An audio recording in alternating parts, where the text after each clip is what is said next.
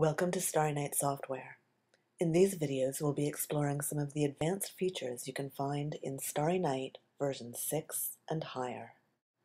This video illustrates how to turn on the hour angle lines for objects in the solar system. Our time systems are based on what is defined as the local hour angle, or the LHA, of a celestial object.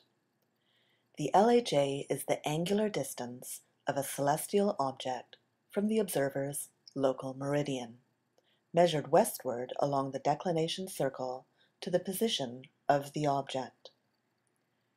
Usually the object in question is the Sun, but the LHA of an object can tell the observer exactly where the object is relative to his or her local meridian and therefore where to locate it in the sky.